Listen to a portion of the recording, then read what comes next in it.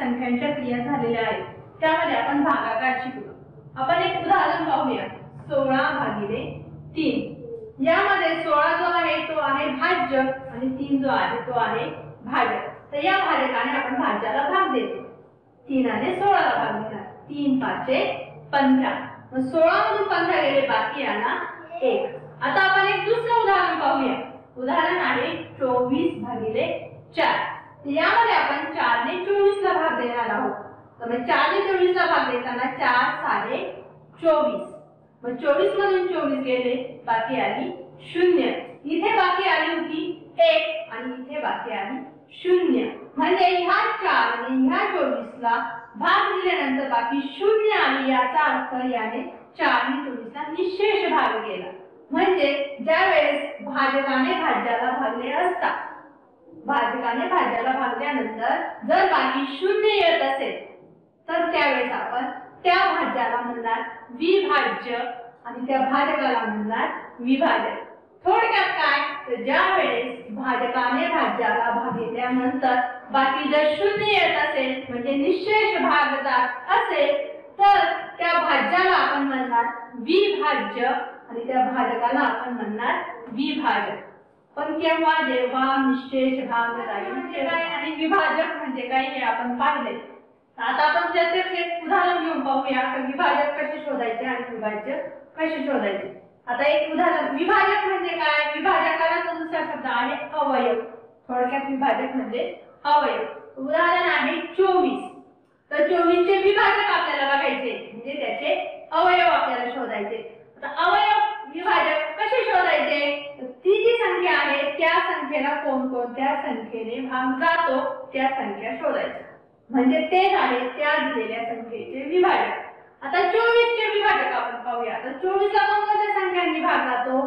तर एकने. आता एकने सर्व संख्यांना भाग जातो. एक हा सर्व संख्यांचा विभाजक आहे.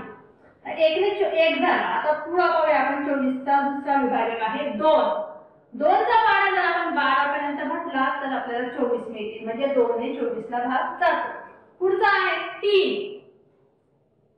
तीन आठे चोवीस. तीनचा बारा म्हटला तर तीन आठे चोवीस. म्हणजे तीन पण विभाजक आहे. पुढचा आहे चार. चार साडे चोवीस. म्हणजे चार हा चोवीसचा विभाजक आहे. पुढचा आहे सहा. सहा चो चोवीस. आणि पुढचा आहे आठ. आठ त्रिक चोवीस. त्याच्या पुढचा आहे संख्या बारा. बार गुणे चोवीस. आणि शेवटचा आहे चोवीस. चोवीस एक चोवीस.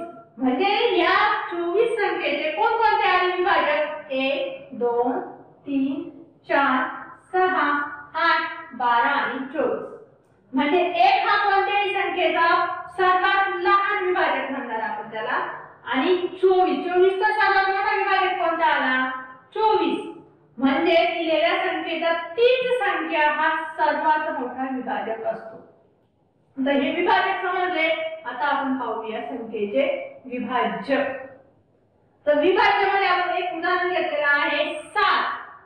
तर विभाज्य म्हणजे काय? तर विभाज्य म्हणजे जी दिलेली संख्या आहे त्या संख्येच्या पटीत येणाऱ्या संख्या. थोडक्यात पाढ्यात येणाऱ्या संख्या.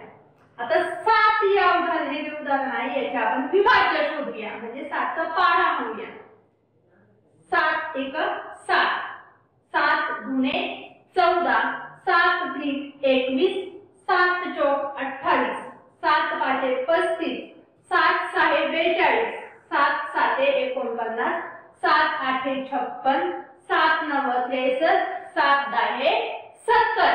तर शेवटी किती आला? सत्तर. मग तिचा पाडा संपला का? संपला. पाडा संपला. पण त्याची पटीत येणाऱ्या संख्या संपल्या नाही. आपण सत्तरच्या पुढे जर सात गेला तर सत्याहत्तर. त्याच्या पुढे आम्ही सात गेला तर असा पुढे हा टप्पा वाढत जाणार. म्हणजे सातचे हे काय? आहे म्हणजे ह्या सगळ्या संख्यांना आपण म्हणणार की ह्या संख्या सातने विभाज्य आहेत. समज विभाजक म्हणजे काय? विभाजक कसे शोधायचे? विभाजक म्हणजे अवयव आणि विभाज्य. या प्रकारे आपण विभाजक आणि विभाज्य